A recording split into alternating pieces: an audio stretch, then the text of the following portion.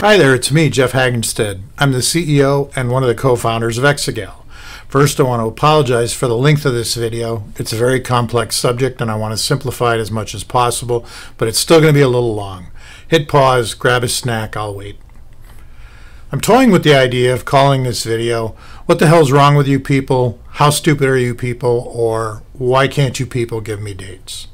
I think that's a little too long for YouTube, but it kind of reflects some of the comments we get about product delays. So what I'm going to do is I'm going to give you a little explanation of what it takes for us to source electronic components normally and how we get delivery and production scheduled. And then I'm hoping to give you a sense of just what a nightmare it's become. And I'm not just going to do it with our products. I'm also going to give you some real world examples using cars, appliances, and clothing, just to try to help you understand um, the things that we face and understand why. It's like when you go to a store to buy a new sofa and they look you straight in the eye and they say, Yeah, it's probably going to be nine months. And you go, But it's right there. And they say, Yeah, it's still going to be nine months. But it's right there. And you stand there in the store wondering just how stupid these people are. So my goal here is to try to help you make sense of all that. So let's start off with a little bit of how it usually works. I'm going to be talking about electronics and specifically our products, but this really applies to everything you buy. And it also helps explain why, when you watch the news and hear them talk about inflation, and how some of it is actually inflation, and why some of it is also just the effects of supply and demand on a product's cost and supply chain timing. So here we go.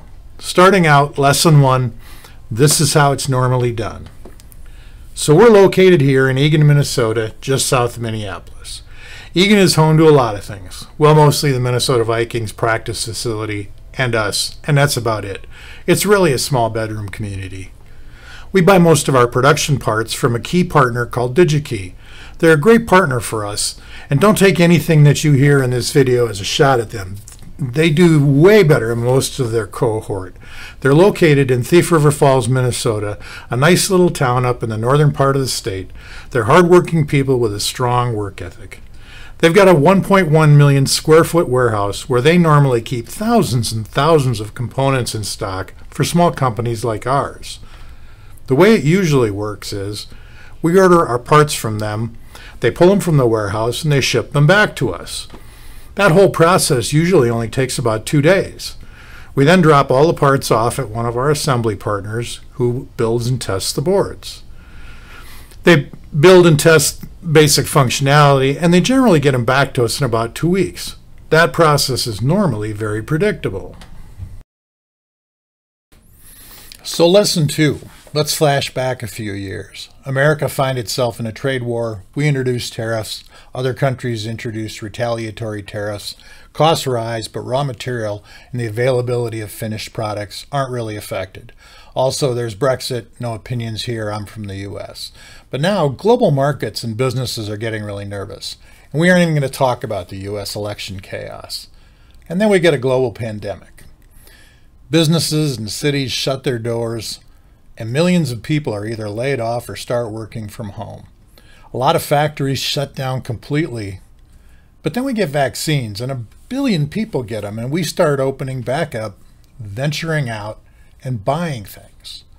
But unfortunately, stores all over the world have depleted their inventory of goods. Factories start back up, but they've got huge production backlogs. This also causes an incredible surge in the need to ship products around the world. So, this is where we get into a product manufacturer's nightmare. My nightmare. We place orders, but they can't be fulfilled because the warehouses have been sucked dry of key components. In our case, only three components. So we have brokers that start searching. They search the US, they search the world. Eventually, they find them somewhere. The brokers buy them. Well, we pay for them, but Lord knows where they are. The parts are actually fairly small and they fit into relatively small boxes, say one half square foot in size. It's too expensive to air freight all these little boxes all over the world, so they go to a shipping consolidator. The consolidator puts them into 1,100 square foot shipping containers, which generally means about 2,000 of these boxes per containers.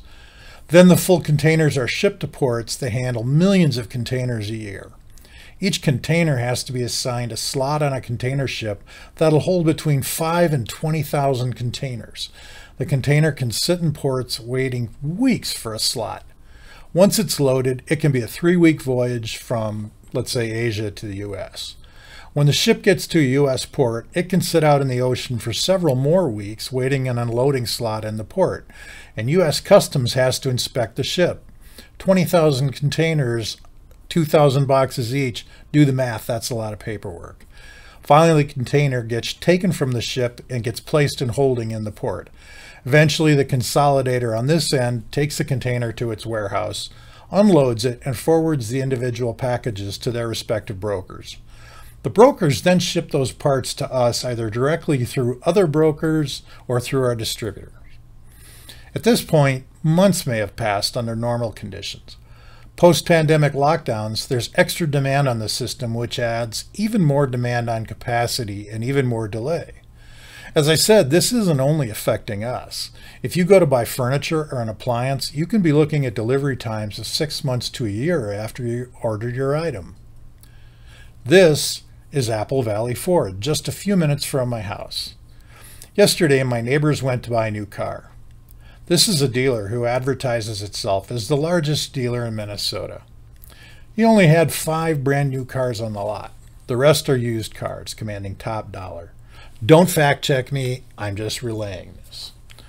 When my neighbor asked the salesman when more cars would come in, he looked sad and said, It's really more a question of if. So this is what's going on out there.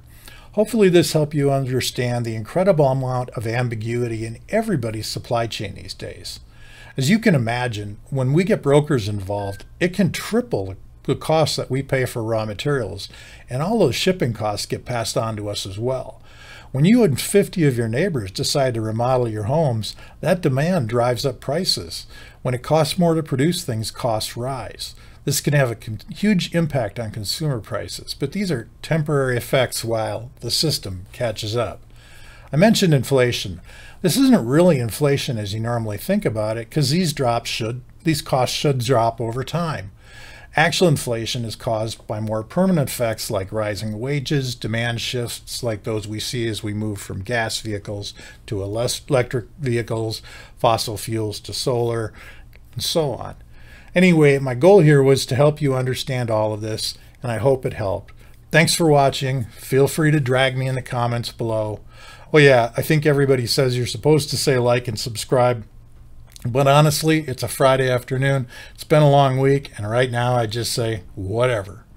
See ya.